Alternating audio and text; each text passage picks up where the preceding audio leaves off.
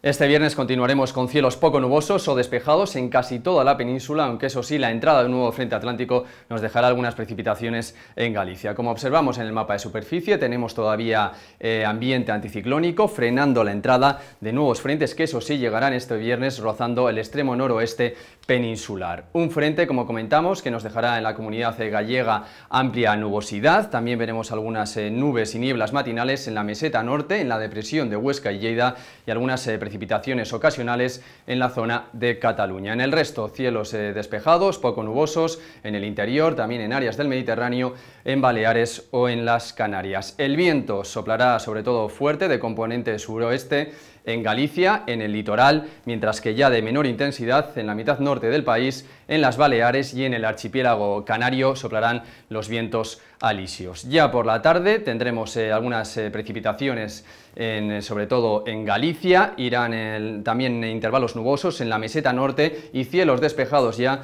en la zona de Cataluña así como también en el Mediterráneo, en el Levante, en las Baleares y en las Islas Canarias. Las temperaturas, eh, las mínimas, se mantienen estables, sin grandes cambios, mientras que las máximas subirán sobre todo en, en la cordillera cantábrica, alcanzando los 17 grados, por ejemplo en Bilbao, los 16 en Oviedo. También subirán en el sistema central e ibérico. Nada más, si quieren más información, consulten nuestra página web.